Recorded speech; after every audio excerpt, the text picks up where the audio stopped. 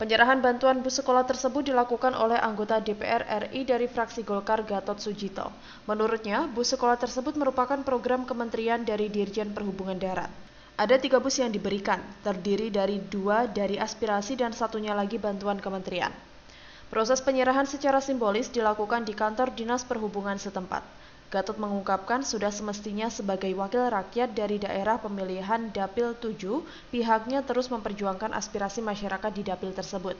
Ia juga berharap mudah-mudahan ada manfaatnya terutama bagi dunia pendidikan di Kabupaten Ngawi. Ya, uh, kebetul pada kesempatan ini kali ini itu kita memberikan uh, bersekolah melalui kementerian. Ini program kementerian. Hmm. kementerian perhubungan dan itu adalah uh, perhubungan darat. Ada bis uh, satu dua dari aspirasi kami yaitu adalah saya adalah anggota dapil 7 otomatis konsekuensi uh, harus terus memperjuangkan berbagai program kementerian yang ada. Kita berikan kepada uh, kabupaten uh, wilayah dapil dan itu sama dengan seperti di Trenggalek kemarin itu adalah di sekolah dua. Satunya adalah reguler atau hadiah daripada kementerian kepada pemerintah kabupaten. Jadi ada tiga tiga bis sekolah. Mudah-mudahan harapan kita adalah uh, bis sekolah itu uh, bisa ada manfaat dan barokahnya untuk transportasi pendidikan bagi mereka yang membutuhkan. Karena saya yakin bahwa uh, sekolah ini bagi mereka-mereka yang tidak mampu tidak perlu karena bisa diantar oleh sendiri oleh orang tua, saudara dan sebagainya. Sementara Kepala Dinas Perhubungan Ngawi Rahmat Didik Purwanto mengaku tiga unit bus sekolah tersebut nantinya akan dioperasionalkan di sejumlah daerah yang jarang kendaraan umum. Untuk teknis pelaksanaannya masih dalam pembahasan. Meski begitu, pihaknya meyakini jika bus sekolah akan sangat membantu untuk mengantarkan para pelajar baik mulai tingkat SD, SMP, dan SMA.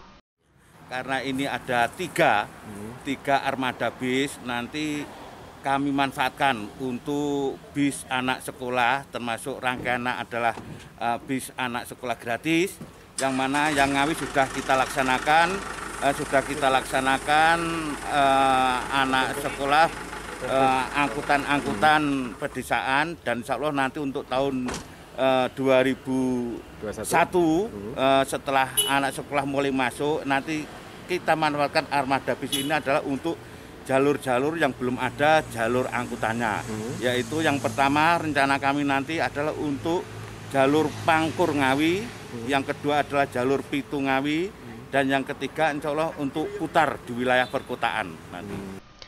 Seperti diketahui, keberadaan bus sekolah ini akan sangat membantu pelajar untuk mendapatkan transportasi ke sekolah, terlebih bagi pelajar yang tidak memiliki kendaraan pribadi. Dari Ngawi, Adi Susilo, Garda TV.